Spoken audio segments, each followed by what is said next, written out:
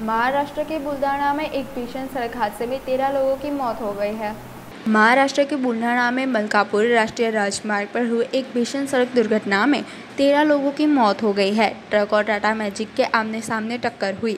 हादसे के वक्त ट्रक और वैन में कुल 16 लोग सवार थे। बताया जा रहा है कि टक्कर इतनी ज़बरदस्त थी कि छह यात्रियों ने मौके पर ही दम तोड़ दिया। दुर्घटना के बाद मौके पर पहुँचे बुल्ढाना के एसपी पाटिल भुजबल ने बताया कि सोमवार दोपहर एन सिक्स पर एक ट्रक का टायर फटने से वह अनियंत्रित हो गई। इसके बाद ट्रक की टाटा मैजिक से टक्कर हो गई। एसपी ने बताया कि हादसे में तेरह लोगों की मौत हो गई और तीन गंभीर रूप से घायल है। ट्रक नमक लेकर कच्छ से नागपुर जा रहा था। स्थानीय लोगों का आरोप है कि जगह न होने के बावजूद भी वाहन चालक ने मैजिक वैन में अतिरिक्त सवारियों को बिठाया था। दुर्घटना के चलते राष्ट्रीय राजमार्ग पर वाहनों की आवाजाही तकरीबन एक घंटे तक रुक गई।